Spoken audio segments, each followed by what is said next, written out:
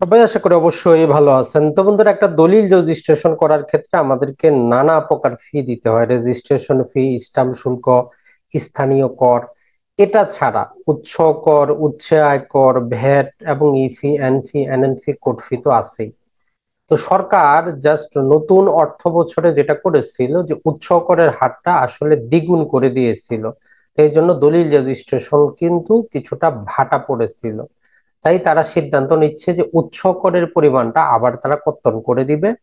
আর একটু রিডিউস করা হবে। জাস্ট আমরা একটু দেখি যে পত্রিকায় আমাদের এই রিলেটেড কি নিউজটা আসতেছে। তো যুগান্তরের যে রিপোর্ট থেকে যতটুকু আমরা দেখতে পারি, বলতেছে যেটা, সেটা হচ্ছে জমি ও ফ্ল্যাট রেজিস্ট্রেশনের খরচ কমছে। আসলে এই জিনিসটা মূলত যেটা হয়, আমাদেরকে একটা জিনিস আগে বুঝতে হবে, একটা জিনিস মনে রাখবেন, সেটা হচ্ছে একটা দলিল রেজিস্ট্রেশন করার কাজে কিছু খরচ জমির বিক্রেতাকে দিতে হয়, ক্রেতাকে দিতে হয়। কিন্তু আমরা বংশ পরস্পরায় ক্রেতাই সবকিছু দিয়ে আসি।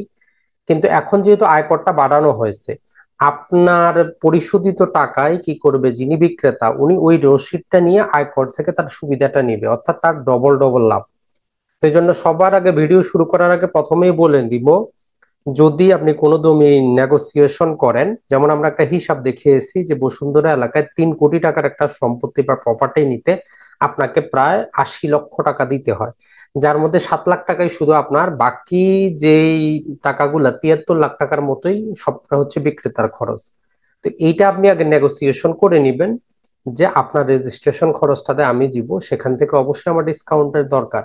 তো যাই হোক, বলতেছে যে সমালোচনার মুখে জমি রেজিস্ট্রেশনের যে উৎস কর আদায়, এটাতে সিস্টেমটাতে কিছুটা পরিবর্তন আনতেছে। এখন তারা এলাকা ভিত্তিক উৎস করের পরিবর্তে মৌজা ভিত্তিক করার চিন্তা ভাবনা করতেছে, যেমন আবাসিক, বাণিজ্যিক রিয়েল এস্টেট ডেভেলপারের উন্নয়নকৃত জমি এরকম। নতুন পদ্ধতিতে জমির পাঁচটি শ্রেণি করা হচ্ছে, অর্থাৎ সারা বাংলাদেশে যেমন আমরা খাজনা আদায়ের ক্ষেত্রে জমিগুলাকে ভাগ করা আছে, তো এরকম।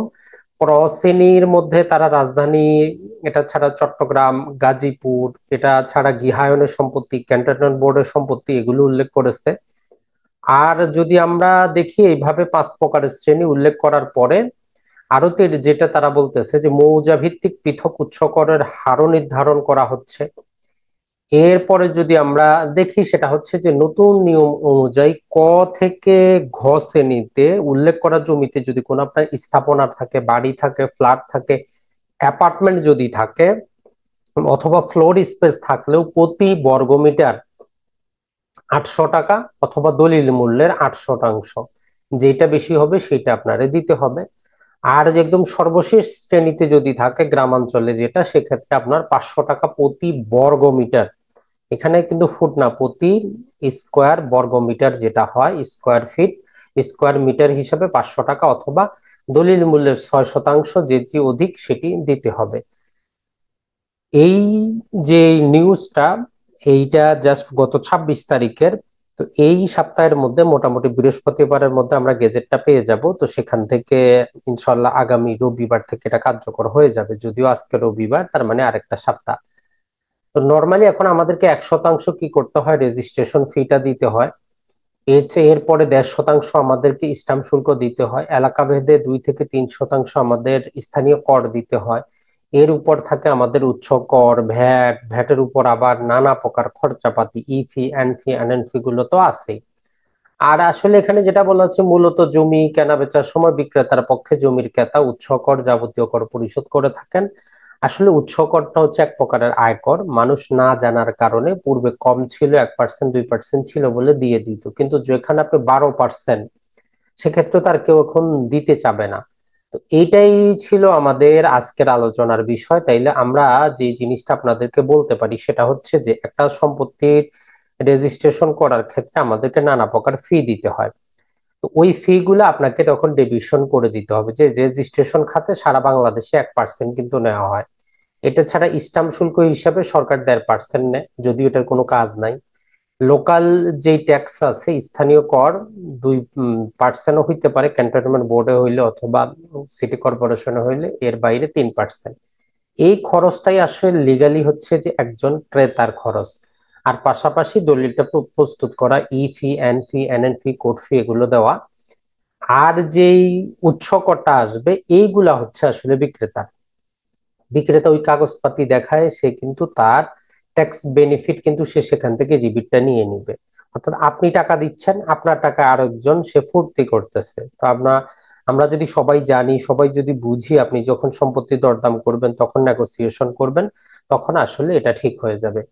তাহলে আপনি যেটা বুঝলেন যে আপনার রেজিস্ট্রেশন খাতের এক পার্সেন্ট স্টাম্প শুল্কের দেড় পার্সেন্ট স্থানীয় করের দুই বা তিন পার্সেন্ট এই যে খরচটা আছে, যদি আমরা এখানে ধরি দুই দুই চার আর এক পাঁচ তাহলে সাড়ে চার পার্সেন্ট থেকে সাড়ে পাঁচ পার্সেন্টই হচ্ছে প্রকৃত খরচ, যেটা সরকারের ঘরে একজন ক্রেতার নামে যুক্ত হয়।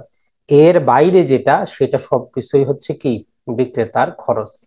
আর তাছাড়া ছোটখাটো যে খরচগুলো আছে, অর্থাৎ আপনার হলফনামা E fee N fee N N fee এটা ছাড়া দশ টাকার কোড ফি, এটাও যিনি ক্রেতা, উনি দিবেন। তো আশা করি এই নিয়মটা যদি কার্যকর করা হয় তাহলে সরকারের ওই জিনিসটাও কি করার দরকার নাই? এই যে তারা উৎসকরটা কমাচ্ছে কমানোর কোনো দরকার নাই। যিনি জমি বিক্রি করবেন, সেই বিকৃত টাকা থেকে তার উৎসকরটা সে দিচ্ছে। তো এই ক্ষেত্রে তার কোনো সমস্যা হওয়ারই কথা না? সাড়ে চার থেকে সাড়ে পাঁচ পার্সেন্টের রেজিস্ট্রেশন করতে সবাই খুশি। তাহলে সরকার যদি না কমিয়েও এই টাকাটা, যিনি সম্পত্তির বিক্রেতা, তাকে যদি বাধ্য করে দেওয়ার জন্য, সেটাই হচ্ছে সবচেয়ে বেস্ট তো আশা করি আমরা যখন গেজেটটা হাতে পাবো, আপনাদের সাথে আরও ডিটেইলে আলোচনা করব। তো এটা ছিল এখন পর্যন্ত আপলোডেড যদি আপনার কোনো সম্পত্তি থাকে রেজিস্ট্রেশন করার বাকি তাহলে জাস্ট এই সপ্তাহটাও অপেক্ষা করতে পারেন। আগামী সপ্তাহের শুরুতেই, অর্থাৎ আগামী রবি সোমবারে আপনি করতে পারেন। রবি সোমবারের মধ্যেই আপনার এই গেজেটটা জারি হয়ে যাবে। ভালো থাকবেন, সুস্থ থাকবেন। আসসালামু আলাইকুম।